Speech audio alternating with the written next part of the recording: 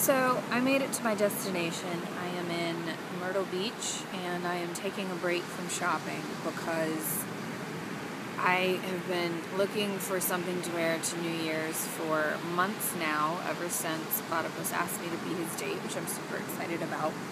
And it's proving to be a lot more difficult than I expected.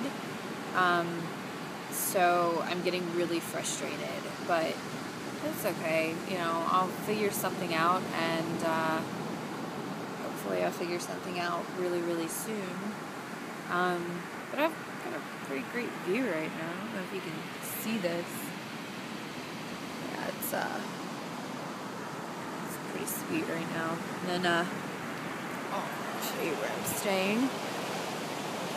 Yeah, I don't, I don't really, really have any complaints right now except for you know maybe getting sand in my boots but um, I think I can deal with that. So I am here safe. I am gonna go back to the room and take a nap because I have yet to sleep because of my GPS deciding to take me to another state.